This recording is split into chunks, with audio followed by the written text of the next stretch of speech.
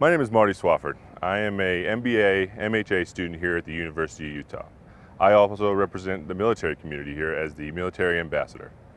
Um, I would like to welcome every one of you to attend the University of Utah. It is a great campus. There's tons to do, great people, and the education is amazing. Some of the instructors you're going to talk to will just blow your mind.